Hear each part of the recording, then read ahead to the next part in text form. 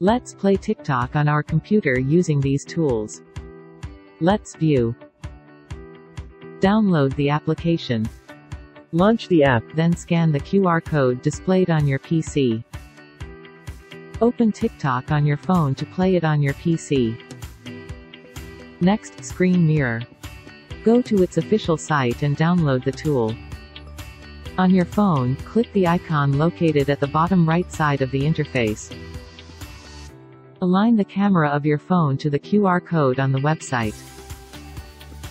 Once scanned, click on Start Now to begin mirroring. Mirroring 360. Download and install the app. Open the app and wait until your phone name appears in your PC screen.